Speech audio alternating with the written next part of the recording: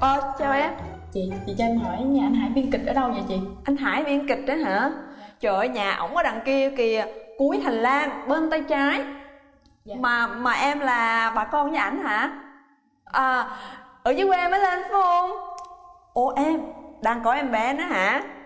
6 tháng chưa? Cái bụng này là khoảng 6 tháng nè. Này là gái đó. Hồi xưa chị có bầu bụng trên là cũng vậy đó. Trời ơi chị ngán dữ thần lắm. Em có bị ngán gì không? À, dạ không, cảm ơn chị. À Được về gia đình rồi.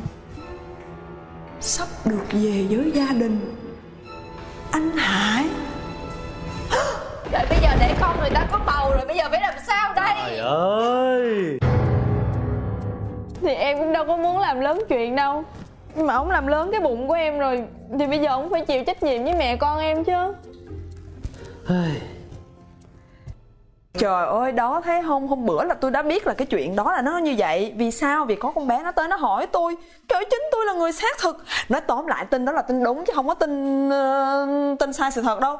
Tin có gì là hả mấy bà truyền tải lại giùm tôi đi chứ tôi tôi đi từ sáng tới giờ.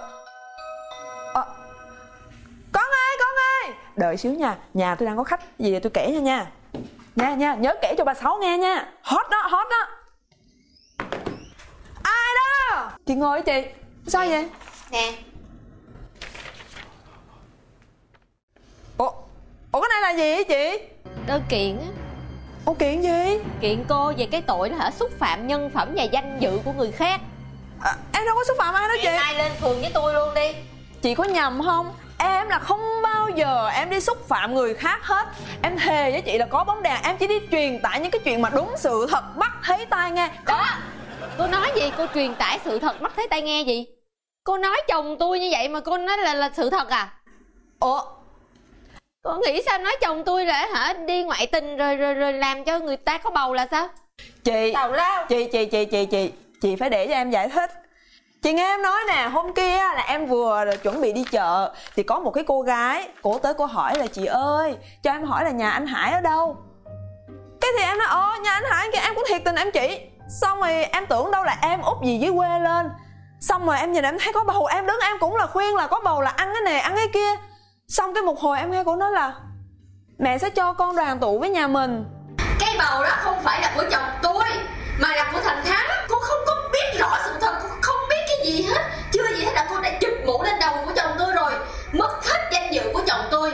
Chồng tôi mất mặt là tôi cũng mất mặt mất hết tất cả danh dự của cả gia đình tôi. Tôi đến đây tôi nói một lần cuối cùng cho cô nghe nghe không đèn nhà ai nấy sáng. Dạ. Chuyện nhà ai nấy tỏ. Dạ. Cô không có liên quan gì đến gia đình nhà tôi hết. Ha gia đình nhà tôi cũng không có ăn giọng ăn hết gì của gia đình nhà cô hết trơn nha. Dạ. Cho nên là chuyện nhà tôi là chuyện của nhà tôi không liên quan đến cái miệng của cô. Dạ. cô không có quyền và không được quyền đi nhiều chuyện những cái chuyện riêng tư của gia đình tôi cho những người khác nghe.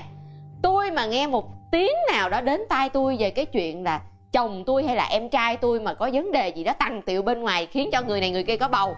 Mà đến tai tôi một cái nha tôi kiện cô dạ dạ dạ thôi Biết chưa? thôi vậy lần này xé nháp nha chị xé xé nháp nha. Em em em, em lỡ lần này thôi ha chị ha. Em xin lỗi Ừ. chị em xin xé lỗi đi. chị. Dạ nhưng dạ mà em xé phạm vào lần sau á thì Dạ, tôi dạ. đây vẫn có thể viết thêm thậm chí một dạ dạ ngàn lá đơn không, nữa. không chị không bao giờ có chuyện đó nữa. Liệu cái miệng của cô đó. Dạ liệu liệu chị liệu liền cái miệng hại cái thân nó rồi.